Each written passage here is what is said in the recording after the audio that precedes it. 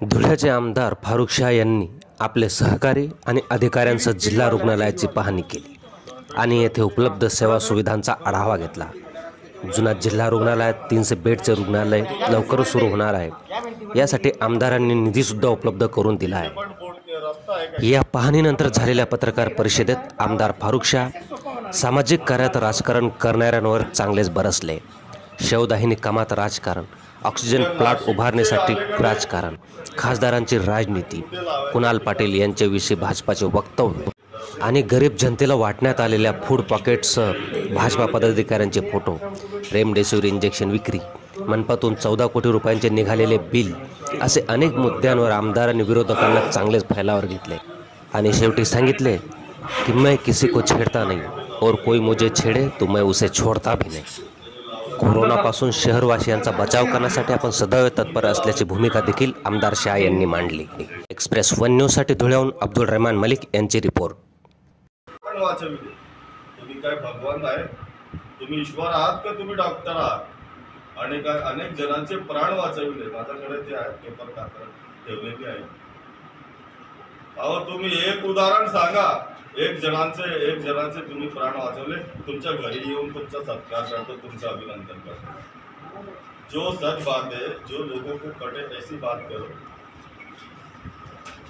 दोस्तों, उसके बाद एक प्रश्न आता है, जो एक ठेकेदार है। मैं बार बार मैं यही बता रहा हूँ कि मैंने आज तक आप लोगों ने देखा होगा, खुद होकर मैंने किसी पर शिकल फेक नहीं की, लेकिन जो खुद होकर बार बार जो आग आएगा, आगे अंगावर घेतली शिंगावर।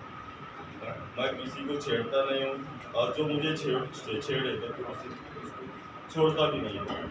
आप लोगों को मैं बताना चाहूँगा दोस्तों महानगर पालिका के आज क्या हालात है? मैं समझता हूँ कि नगर पालिका हिंदुस्तान आज़ाद होने के बाद जब से नगर पालिका स्थापित हुई है, अमल में आई है उस वक्त से लेकर अब तक जितना भ्रष्टाचार नहीं होगा उतना दो साल में ये पिछले दो साल में महानगर पालिका में भ्रष्टाचार हुआ है। आप लोगों ने देखा होगा वहाँ पर कौन ठेकेदारी करता है, है?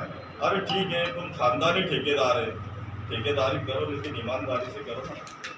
कचरे का ठेका तुम लेते हैं। कचरे का ठेका लेकर तुम लोग ये लॉकडाउन के पीरियड में भी यानी शासन की फसवणूक करते हैं। कचरा संकलन करने की बजाय तुम उसमें वीट मिट्टी मुक्त करते ठेकेदार कौन है आप देख लेना अच्छी तरह से मालूम लेना बेड नहीं मिल पा रहे हैं। वेंटिलेटर्स उपलब्ध नहीं है, ऑक्सीजन नहीं मिल रही है। तुम्हारा एक सुसज्ज हॉस्पिटल है। अगर तुम दानशूर हो तो उसको दे दो। मैं तो बहुत छोटा आदमी हूँ। मेरे जितनी प्रॉपर्टी है, आप लोग बोलो, कोरोना से लड़ने के लिए मैं अपनी जान तक देने के लिए तैयार हूँ।